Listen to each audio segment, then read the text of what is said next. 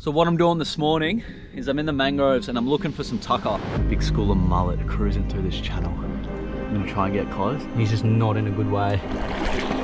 That's a perfect bit of tucker. This will be beautiful in the coals of the fire, or I could even just eat it raw. I'll be camping on this island tonight and I didn't bring much food or gear with me at all. In fact, all I've got is this three-piece hand spear. I figured we might do a bit of a traditional style hunt, forage, and cook up today using only some limited resources. And what I'm hoping will be on the menu is mullet. They school up in the shallows here. Stingray, but I want to cook it up the way the indigenous did and see if it tastes a bit better than when I've tried it before. So the tide's currently coming up right now. Got my knife and hopefully we can find a bit of tucker to cook up this afternoon. Let's have a look, eh? Have a go at this. I've already collected myself a generous pile of oysters on this rotten branch that I just knocked off right here. This will be beautiful, either in the coals of the fire, or I could even just eat it raw. That's a perfect bit of tucker off the bat. I'll leave that right there. We'll grab that on the way back, hey? Let's see what else we can find out here. Little mud crab claw right here.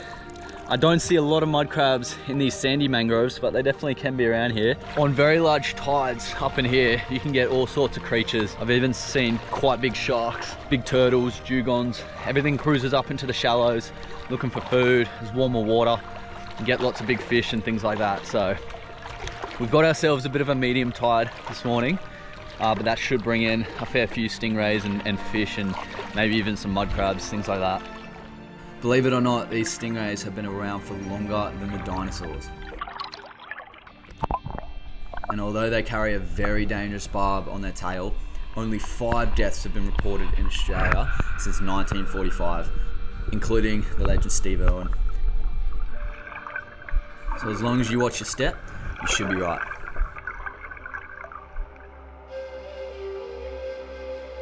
Big school of mullet cruising through this channel. I'm gonna try and get close and get a shot on. They're good eating size.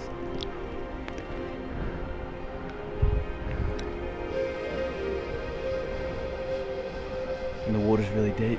I need him to cruise on this side.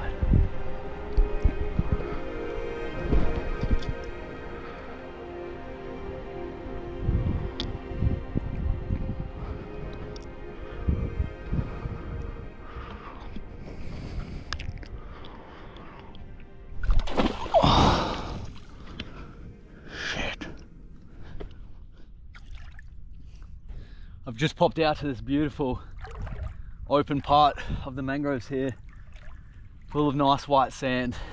Now all these holes indicate to me that this is a pretty good spot for stingrays. I see some bubbles up here that may indicate that a stingray's burying himself and camouflaging from me so if he's a good size we'll whack him. Oh! Got him! I got him. I just gotta be real careful how I approach this. The barb could easily get me at the end of the spear here.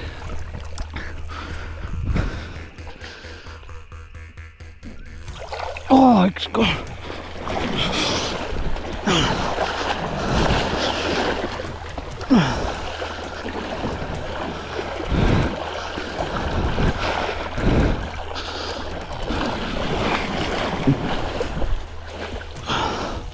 Got him again. I actually got him again over here and he's pulled my spear out again.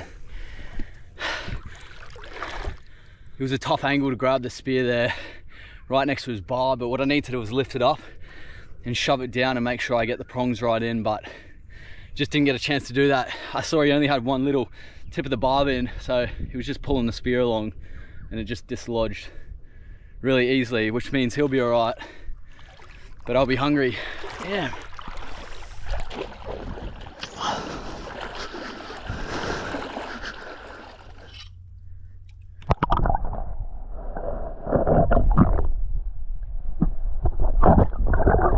It's a little sand crab.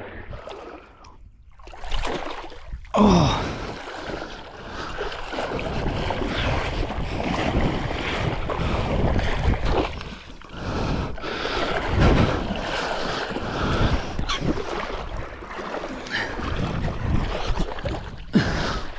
Man, these stingrays are hard to get. It's been a few hours, surprisingly. Haven't been able to find another stingray, so I'm gonna head back to the boat because that tide's dropping out and I'll be stranded for the whole day if I don't get going. So unless I find a stingray between here and the boat, I think we're going hungry.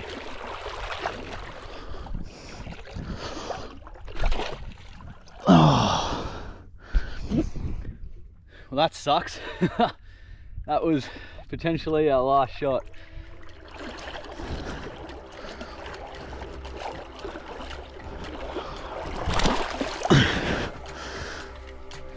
We got a stingray, guys.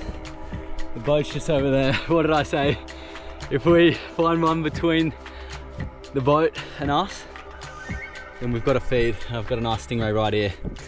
What I do next is crucial though got the stingray on the spear, but I've got my toe on the oysters. So what I got to do now is a traditional method that the indigenous people actually use to get the barb out so you can dispatch this the stingray uh, humanely without getting done. So we're going to do that now.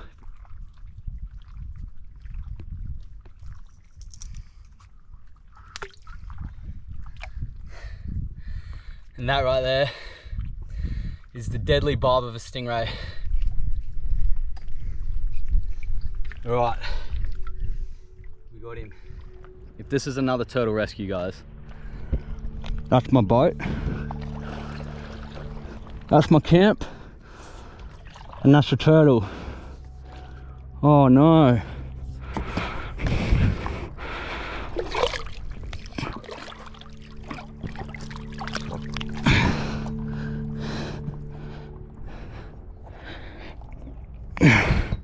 Something's wrong with him. So I'm just gonna take him to my boat where it's a bit easier to manage. I reckon he's eating a plastic bag or something, eh? You right, buddy? You don't look too well. He feels pretty soft. As you can see, he's just sitting down here, um, completely just docile, not really looking in a good way. No boats have hit his shell or anything, so I reckon this poor bloke might have a stomach full of plastic or something like that. But just goes to show always something going on with these poor turtles, man. Right, buddy. Um, I'm currently just waiting for the sun to go down to do my cook up for the video. So I might take him on the sup back over to camp. I'll whack him in the shade and I might see if I can get some reception and call a ranger down here. They should be able to access the beach. Um, they might be able to pick him up and do something with him, but there's not really much I can do. But he's alive. He's just not in a good way.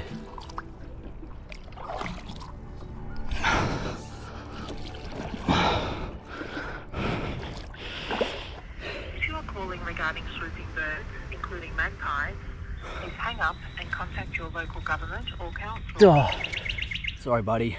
For crocodile incidents, This is getting ridiculous.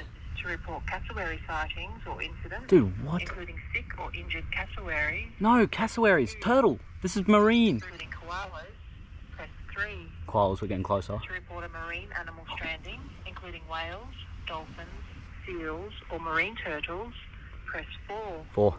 No, no signs of a tag. I'll escalate that report through now. Awesome, thank you very much. Cheers, mate. All right, local authorities are called. You just gotta hold in there, buddy. Help's coming. You just rest, all right? So many turtles I come across out here. Fishing line wrapped around them, upside down on the beach. Like a whole heap of gnarly stuff. This is the fourth turtle I've found now in the last couple years. Um, and I film all the adventures I do, so that's why I've captured it all on camera. But um, yeah, this guy's looking more crook than the others, so hopefully he pulls through. I don't know if that's going to be annoying him or not, but just try to keep the sun off him and wait till the rangers cruise past, and hopefully they they'll know what to do, and we can um, get you back out in the water. Hey, buddy. Dude, all good. Good luck, buddy. Cheers, man. Cheers, mate. Thank you.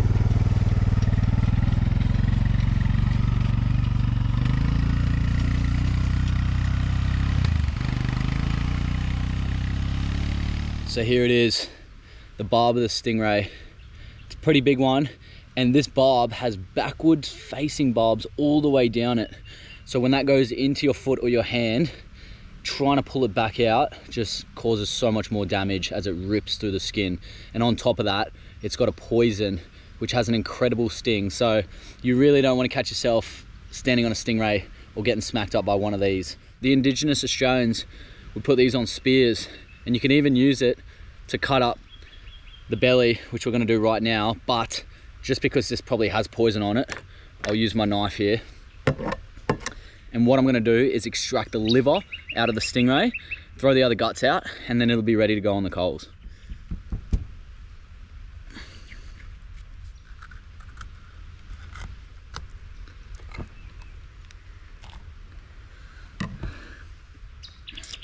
And that right there is the liver of the stingray, a prized possession and a delicacy in many parts of the world. Quite overlooked in Australia. Uh, we don't really eat stingrays, but the indigenous Australians have been eating these guys for thousands of years. But there's a poisonous part up in here that we need to extract first. I hope I've removed that correctly and we're just left with that. Righto, that sun's setting now. Coals are looking good. For entree, I'm gonna throw our oyster stack on the fire here and see how it goes. Right in there. Now, my great granddad actually was an oyster shucker, oyster farmer, and um, he told me once that if you put anything on your oysters, you don't really like oysters. So I've always had them as is, raw, whatever you want to call it. But I thought, why not try on the campfire since we're doing that with the stingray as well. So I'm looking forward to it.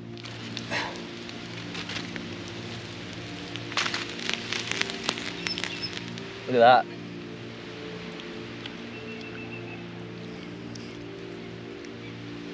That is, I can't believe I haven't done this before. Look at the size of that one.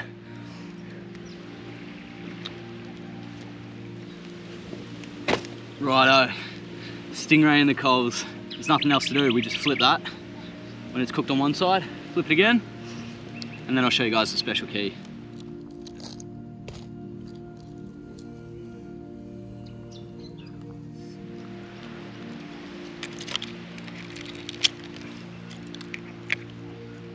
Campfire cooked oysters are one of my new favorite things to eat in the world.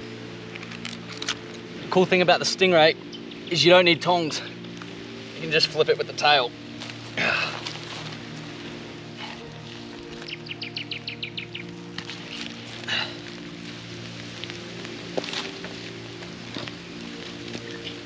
gonna chuck him in there a little bit more, a bit hotter. Smells good.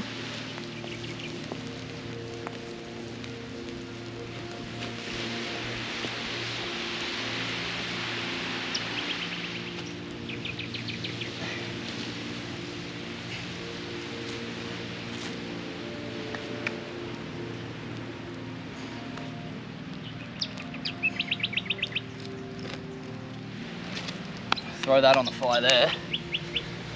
Now let me show you what we got to do with the meat to make it taste really good. Righto, so what we got to do now is scrape the meat off the stingray and put it in this bowl here.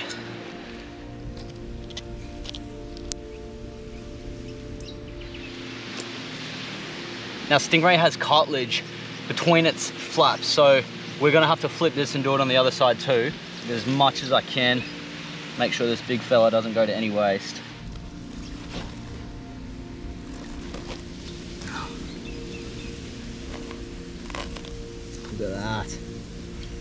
Just washed my hands. And here's where it gets interesting, guys. We got a bowl full of stingray meat. I'm gonna grab this piece of raw liver. I'm gonna squeeze it up in my hand here. And then I'm gonna squish it into the meat. I'm getting a really smoky flavor at the moment, but it's probably just those delicious oysters burning off behind me.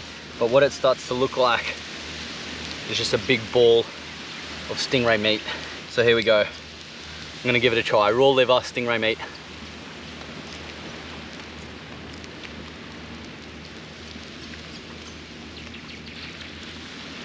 That tastes exactly like crayfish.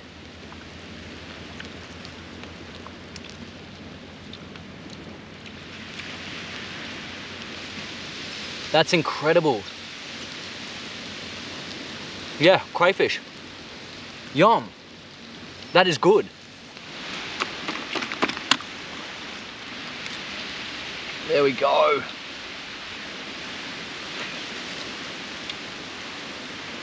Right, honest verdict.